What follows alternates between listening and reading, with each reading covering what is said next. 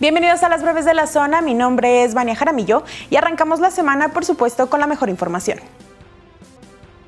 Este jueves arranca la jornada de vacunación para aplicar la segunda dosis de vacunas anti-COVID del biológico Sputnik a personas mayores de 18 años y hasta los 29 años de edad. Y también se aplicará el tercer refuerzo para personas de 60 años y más del laboratorio AstraZeneca. Así lo dio a conocer el secretario de Salud de Guanajuato, Daniel Díaz Martínez, quien agregó este miércoles llegaron a la entidad 760 mil dosis del laboratorio Sputnik, será aplicada en 20 municipios de la entidad a partir de las 8 de la mañana.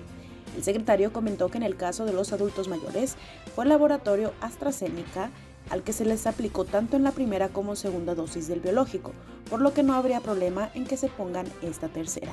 Los puntos de vacunación y su ubicación ya los puedes encontrar en nuestro portal. Tras confirmar que se activó el protocolo por supuesto robo de un niño, el secretario de Seguridad de Irapuato, Miguel Ángel Cimental, dijo que de noviembre a la fecha, la Policía Municipal ha intervenido en 10 búsquedas inmediatas de personas reportadas como privadas de su libertad, no localizadas o desaparecidas. Y es que a las 10.18 de la mañana de este miércoles, el funcionario dijo que se reportó el intento de robo de un menor muy cerca de la escuela primaria de la colonia Primero de Mayo. Sin embargo, pese a la búsqueda presencial y con cámara, se descartó el caso del que dijo no supo si fue real o falso. Tal y como este caso, el funcionario expuso que los elementos han activado protocolos para buscar al menos 10 personas desde noviembre hasta lo que va de diciembre, pero de quienes acentuó no se sabe cuántas fueron localizadas, pues los casos ya se canalizaron a la Fiscalía General del Estado.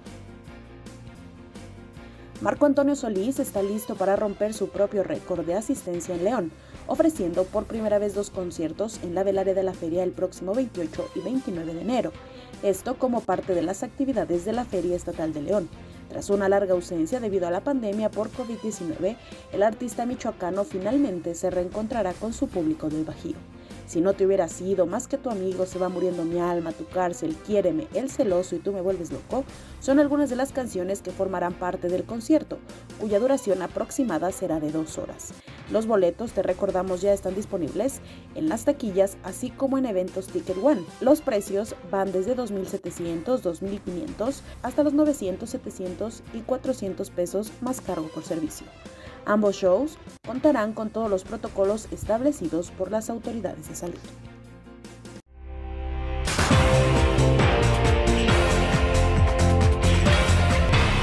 Consulta la información completa en nuestro portal. Recuerda que lo puedes hacer también a través de todas nuestras redes sociales. Y por supuesto, mañana mi compañera Carmen Martínez trae para ti mucho más información.